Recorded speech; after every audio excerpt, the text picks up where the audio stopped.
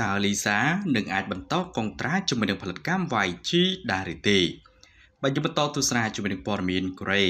ជាការពិតណាស់តារាចម្រៀងស្រីសញ្ជាតិថៃលីសាសមាជិកក្រុម Blackpink មានគេឈ្មោះល្បីល្បាញលើកពីនោះគឺមានភាពលេចធ្លោជាងគេនៅក្នុងសមាជិកក្រុមថ្មីថ្មីមានដំណឹងមួយគួរឲ្យបុកពោះដោយផលិតកម្ម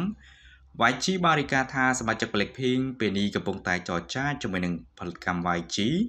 តាក់ទងនឹងរឿងបន្តកុងត្រាថ្មីដោយកុងត្រាចាស់នឹងត្រូវបញ្ចប់ នៅខែសីហានេះអំឡុងពេលដែលការចរចារវាងលីសានិង YG ពុំទាន់ដល់ចំណុចដែលអាចធ្វើកិច្ចព្រមព្រៀងបាននៅឡើយដោយសារតែការទៀមទាននិងតម្រូវការរបស់ភាគីទាំងសងខាង គឺមានភាពខុសគ្នា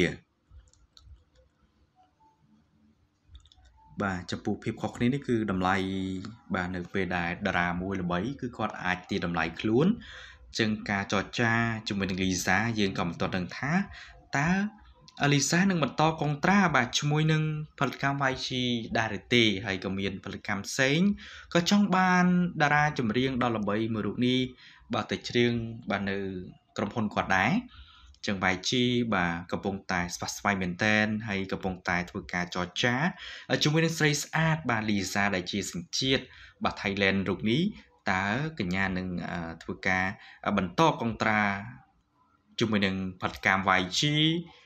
បាទហើយក៏ដូចជាសមាជិកក្រុម Blackpink តទៅទៀតដែរឬទេ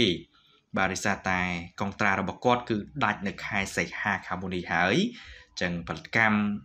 ក៏ដូចជាបានអ្នកគ្រប់គ្រងកំពុងតែធ្វើការសមប់សម្រួលជាមួយនឹងលីសាក៏ដូចជាសមាជិក3រូបទៀតបាទតាពួកគាត់នឹងបញ្ចប់កុងត្រានៅខែសីហាខាងមុននេះឬក៏បន្តកុងត្រាទៅមុខទៀតក៏យើងមិនទាន់ដឹងដែរបាទរងចាំទស្សនានៅព័ត៌មានអាប់ដេតពី Channel របស់យើងខ្ញុំផងដែរសូមអរគុណ